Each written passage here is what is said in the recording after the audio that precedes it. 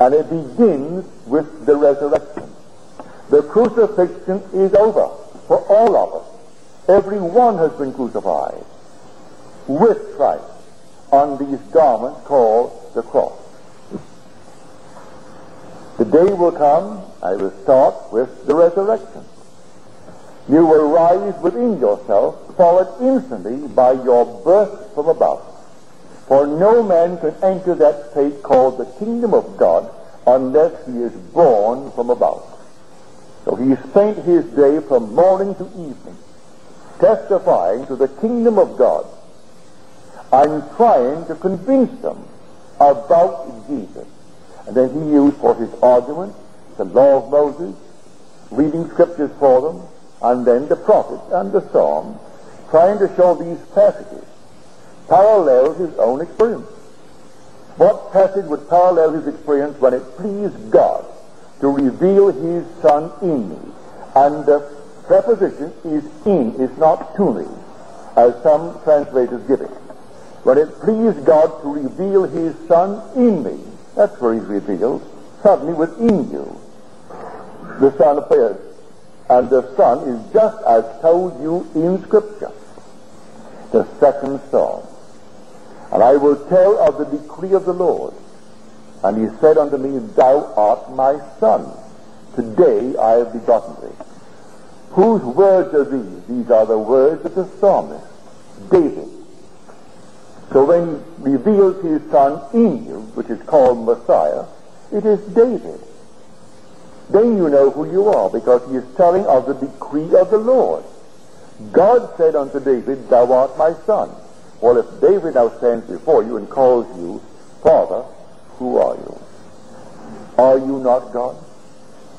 Are you not the Lord? Well, I prophesy for you, you will have it. You will have that experience where David stands before you and calls you Father. And then, and then only you will know that you are the Lord God. All these things are going to happen in every child born of woman. When? How do I know when? Let me share with you an experience. I do not think the lady is here tonight. She's been coming here recently and she wrote me a letter. And she said, I did not understand your books. They were given to me by a lady who recently brought me with her to your meeting. I've only been coming to your meeting recently, and I will come, I think, until the end. Well, they are not here tonight. I will tell her story. She said, night before last, and her letter is dated the 11th of June. So this is the 9th of June. She said, in my dream, I found myself standing on the corner waiting for a streetcar or a bus. And they came by, and the crowds got on, and I let everyone go by. I wondered to myself if across the way, coming from the apartment house, someone is seen standing here, they will wonder what's wrong with that woman. She could have boarded one of these buses to take us to her destination. And here I am waiting. Then a woman came to me and said to me, the train you're waiting for will be here in a minute. It's a black train, a long, flat, black train, with seats on both sides facing the street. I looked up and here is a long black train coming. Seats on both sides facing the street. I boarded it. Up front, I saw a crowd around the coffin. The coffin was covered, and they were weeping, and my attention was drawn to the coffin. Then it was diverted because I looked to the street, and here was a young woman, dead, very dead. So the right arm was eaten away up to the shoulder, and she was dead and really very dead, as she said. Then I noticed the feet began to move, and this woman began to be, I would say, restored to life. This young woman. Then my attention was turned now to the coffin. And out of the coffin rises a man clothed in white. At that moment I awoke. I remained awake long enough to record it and to impress my mind with the dream. Fell back to sleep, and here I am among a huge crowd And we're all going to hear Neville.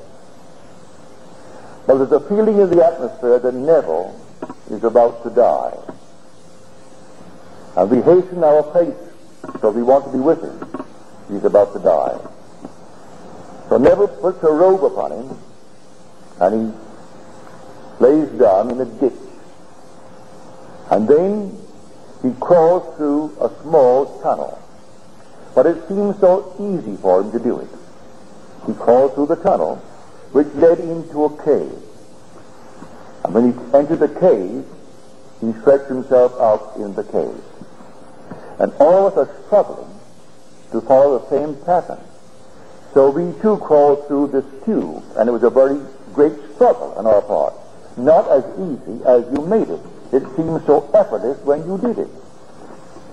Then you rose from the cave as though you had to change your mind and came back out the same way with the same effortlessness. When you came out, we made the same effort. Again, I wondered whoever made this tube, why could not have made it easier? And so we all came out. But not everyone could make it. Many of us did, but not all could make it. I will tell you, all will make it. But all are not ready to make it. That was an adumbration. That was a foreshadowing of what is in store for everyone in this world. This is the mystery of life through death. Unless a seed or the grain of wheat fall into the ground and die, it remains alone. But if it dies, it brings forth much.